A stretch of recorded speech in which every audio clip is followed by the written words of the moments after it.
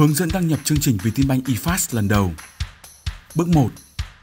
Quý khách đăng nhập theo đường link efast.vietinbank.vn. Bước 2. Tại màn hình đăng nhập, quý khách nhập đầy đủ tên đăng nhập là tên người dùng trên chương trình Vietinbank eFast được Vietinbank gửi về địa chỉ email đã đăng ký của quý khách. Nhập mật khẩu truy cập chương trình đã được Vietinbank gửi về SMS số điện thoại quý khách đã đăng ký. Bước 3. Hệ thống yêu cầu đổi mật khẩu bằng cách nhập mật khẩu hiện tại là mật khẩu được ngân hàng gửi về SMS số điện thoại quý khách đã đăng ký.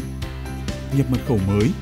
Quý khách lưu ý, mật khẩu phải bao gồm từ 8 đến 50 ký tự, có ít nhất một ký tự chữ hoa, một chữ thường, một chữ số và một trong các ký tự đặc biệt.